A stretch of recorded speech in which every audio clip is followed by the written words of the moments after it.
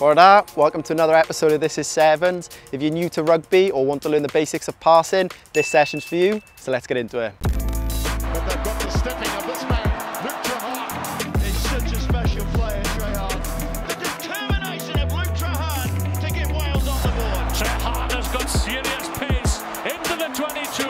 And the doctor is in the house.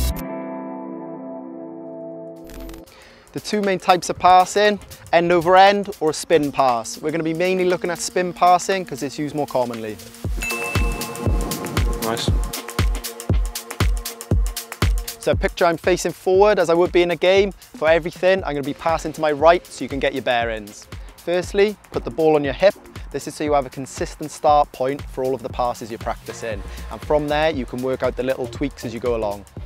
So passing the ball to our right, we want our left hand near the back of the ball. This is going to be supplying the power. We want to spread our fingers and get as much of the hand in contact with the ball as this will really help with the control of the pass. So your right hand goes nearer the front of the ball. This is going to act as the guide towards the target. So it's a much lighter grip, mainly with your fingers.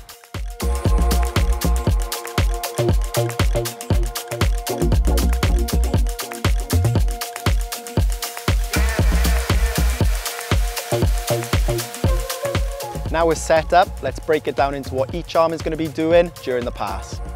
Starting off with our left hand, the power hand at the back, we want this to push through the ball. So the spin will naturally happen by the action of going through the ball towards the target.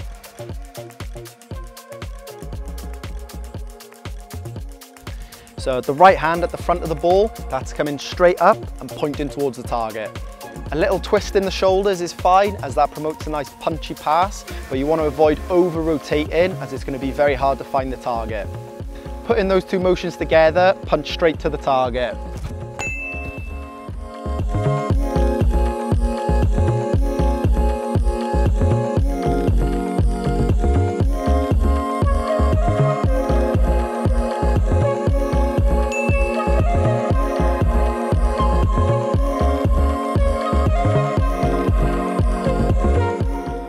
We want our hands pointing straight at the target when we finish.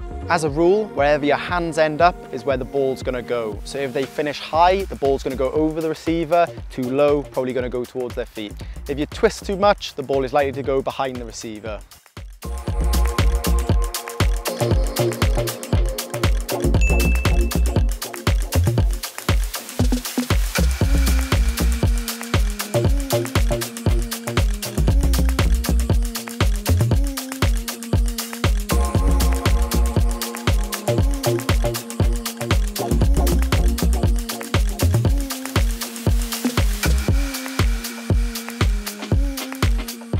So a couple of drills to help you practice. The first one, turn so that you're facing your target and you're just going to use with one hand, the power hand at the back of the ball to push through to the target.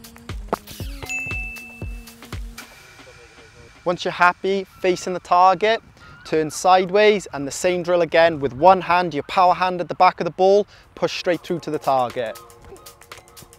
Once you're happy with the power in your backhand, you can add in your front guide hand to help you get towards the target. Nice. Three, two, one. Oh, I'm scared.